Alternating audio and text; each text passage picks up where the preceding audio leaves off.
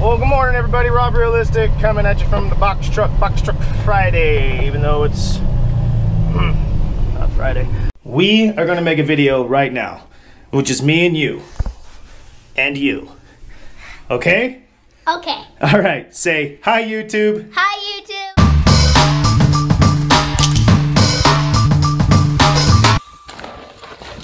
Oh! Some of you know I have a trucking side of me. I have a I have a truck, a C10 side of me. There's three there's three sides of me, okay?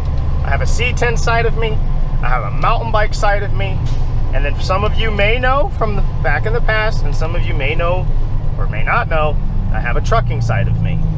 My YouTube channel started out as me trucking. I Drove over the road for three years. I vlogged or made videos. I don't exactly know what I did.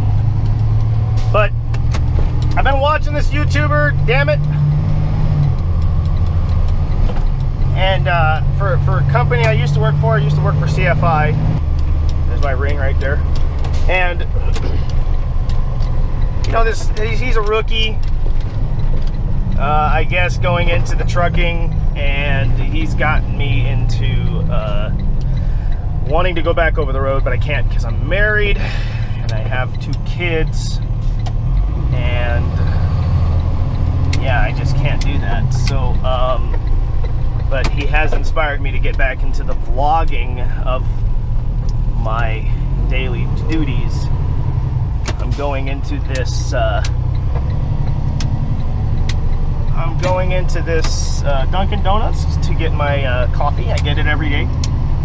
I pay a dollar for coffee here, at least for this month, and then um,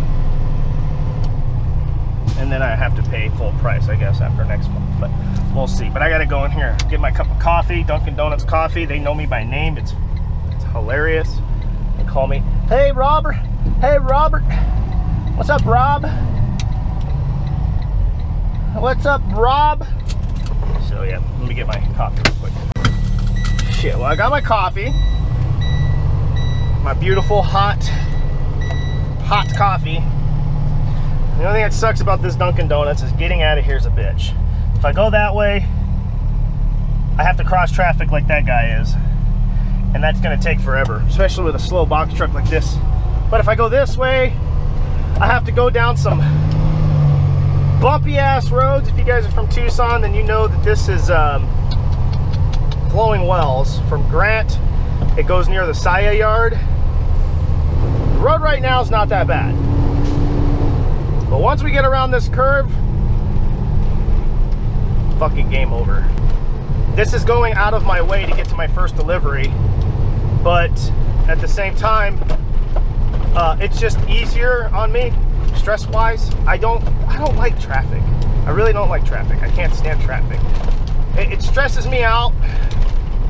And that's why I want to go back over the road. Thank you.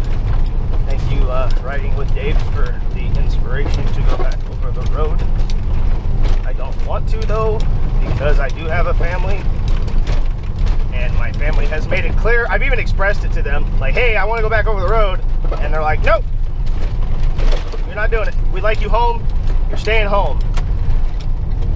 Problem I see is, is uh, you know, I left my family for three years, got a CDL, hazmat, and all this good shit, just to drive a box truck. So I did all that for me to drive a box truck, which is weird because the YouTuber that I watch riding with Dave, he was a box truck driver and he left driving a box truck to go over the road. He did exactly the opposite of what I've done. I left for three years, became an over the road driver, and I'm driving a box truck. Yeah. Yeah, that's my life. That's my life in a nutshell. I didn't even need, this is a class B box truck. It's not even a class, I had a class B too. I was a school bus driver uh, for TUSD for a little bit. I don't I don't know how long. I would say at least a year.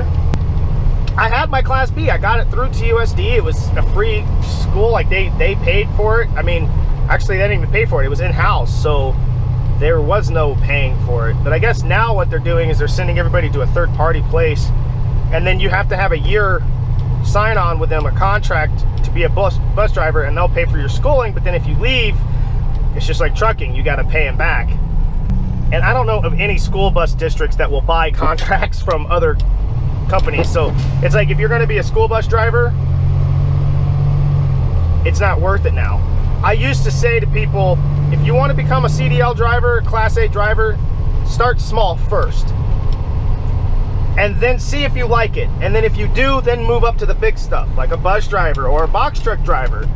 And if you like it and you enjoy it and you can handle it, then become a Class A driver. Don't just jump right into a Class A, a big truck, 53 foot truck, and a sleeper, and you can't stand it. Like, you know what I mean? You can't stand it and you, you think you made a, a mistake. Well, it's not for everybody, but for me, I enjoy, I enjoy driving. I mean, my job, I get paid to drive. I mean, you go, out, you get up in the morning, you drive to work, you drive around, and you drive home. Like, you're getting paid to drive. 90% of the time is driving. 10% of the time is actually working. Let me take a sip of my coffee. It's just been burning my fingers this whole time. I got to make sure they put sugar in it because I asked them for cream and sugar, one extra sugar, and like I got the other day, they didn't even put any sugar in it. I drank that whole cup of coffee with no sugar. It's disgusting. CFI, I miss you guys. Like I really do. I miss CFI. Um, you know, seeing the way that this uh, YouTuber drives, right? He reminds me a lot of myself when I was driving a truck. He really does. Like, he has no idea who I am. I've commented on his page before and be like, bro, you need to do this, this, that. Like, not like trying to be a dickhead or anything. Just be like, hey, you're having problems with the backing. Like, he's got this dock thing, right? Where he, he backs into a dock and the truck will jump around because it's an automatic. Well, there's a hill assist switch on the truck. That's what causes the jumping around is the, the brakes are engaged because it's thinking automatically you're on a hill.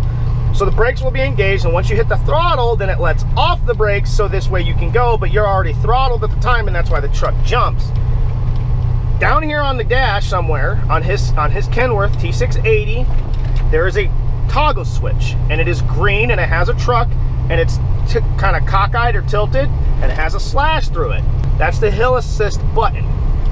If you push it up or down, I can't remember which way, but if you flip it, switch it, a display will come up on the dash, hill assist off. Then you can just feather the throttle as if it was a manual.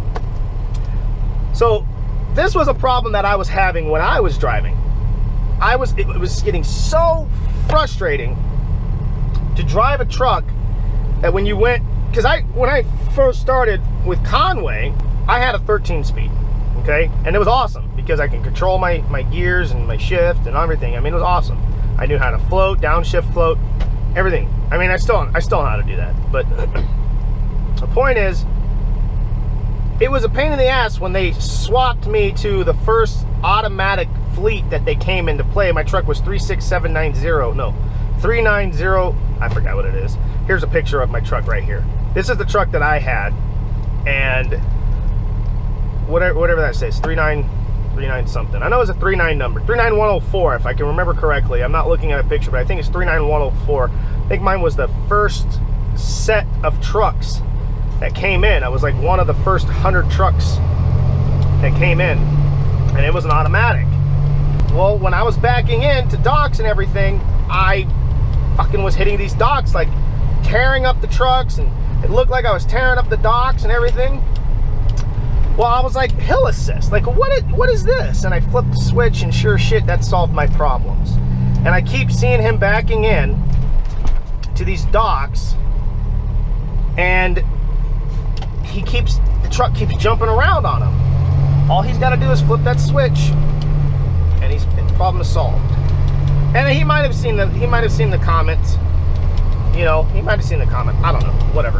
But, uh, but if anybody knows, uh, I've already, and I've even sent him a video like once before about, um, tandems, which I've, what I'm doing with this guy's videos is I'm actually watching them from the very first trucking and I'm working my way up to present and I think I'm like seven videos away. Anytime he releases a new video though, I watch it. And it seems to me as like a while ago, he was actually able to figure out, or somebody had already told him about the tandem rule, about how when you have a load and you're unsure, you put the, the, the center of the rear axle halfway. Well, this is my this is my formula. What he was told was is you put the rear axle lined up with the back of the pallet, the last pallet. That's not what I do. I take the center of the rear axle, right? And I line it up with the middle of the last pallet. So if the pallet's this big, I put the center of the rear axle straight in the middle. And that to me, I'm not even kidding guys, 99% of the time was accurate and even. I didn't have to adjust anything and there's a video on YouTube that shows that, you know, it shows you that I show you what the, the weight and everything was. It sucks. Um, but yeah. Anyway, all right guys, Rob Realistics out. Peace.